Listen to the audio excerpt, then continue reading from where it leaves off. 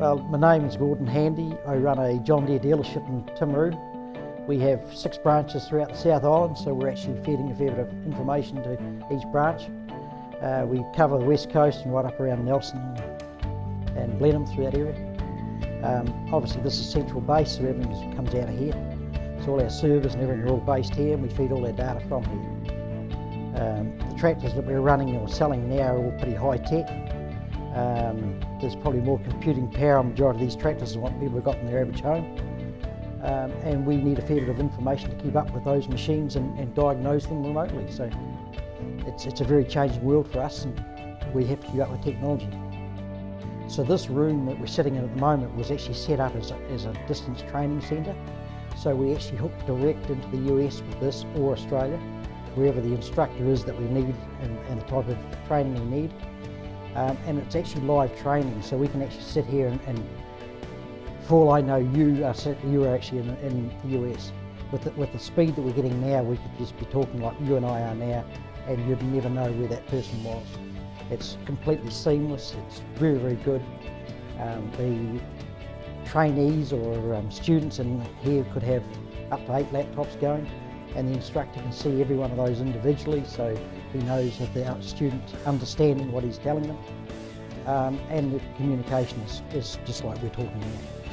It's a wonderful thing and, and um, when, when you see web conferencing, this is taken to another level again. This is really clever stuff, good stuff.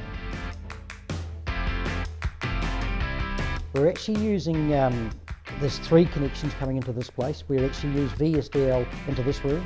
And as I said, with that type of training we're using, that's, that's going pretty hard. Um, we have fibre going into the main server and um, that brings all the data into the building and that does our emails and all the um, computers right throughout the whole company. And then we send, send some of it out on VSDL as well. So the server's actually running two connections. It, um, all our branches are obviously hooking into here looking at parts catalogues, downloading large files of parts catalogues and things, we need speed and we need lots of speed. Gigatown's the way we've got to go, boys.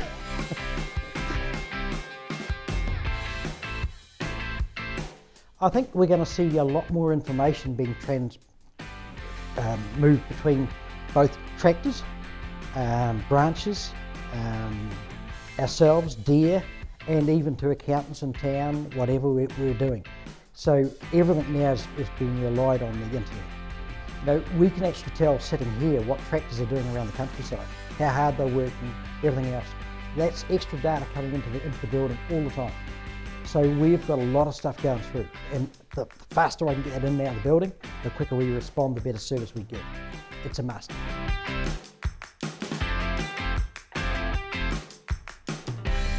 I think that's probably, as I said before, the, the big thing is getting communication around the town, getting it to ourselves, uh, within a, you know, our, our own organisation as well.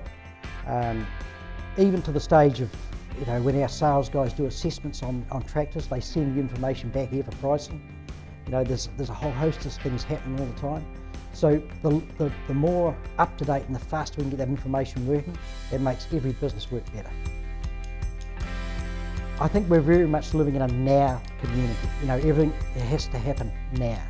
So we want the speed, we want we want the answer now. If, Timaru was to win Gigatown, well it's going to win Gigatown because we need speed in this town. You know, there's so much happening from Timaru as in running businesses outside this town and internally in this town. We need speed, we need the capacity, we've got the brain power, we just need the speed.